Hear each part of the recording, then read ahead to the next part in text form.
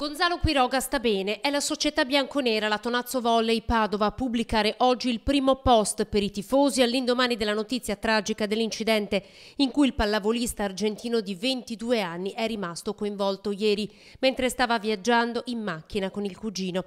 L'atleta rimane ora sotto osservazione, si legge nel reparto di rianimazione ma non è in pericolo di vita. Sono state però ore di apprensione per lui, ricoverato ieri pomeriggio in prognosi riservata all'ospedale di Verona. Dopo dopo un tamponamento a catena sull'autostrada A4 in direzione Milano. L'atleta era rimasto incastrato con il corpo tra le lamiere dell'auto dopo un maxi tamponamento che ha coinvolto cinque autovetture. Estratto dalla macchina dai vigili del fuoco, era stato trasportato con l'elisoccorso al Polo Confortini, dove era giunto privo di conoscenza.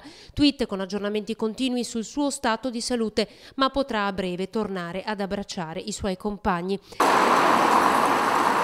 Non c'è stato nulla da fare invece per Giancarla Formaggio, una pensionata di 64 anni. Il suo corpo è stato trovato privo di vita dentro un'automobile finita in un fossato lungo la provinciale 19 tra Poiana Maggiore e Montagnana. Forse a causare la tragica sbandata, un malore. La donna lascia tre figli.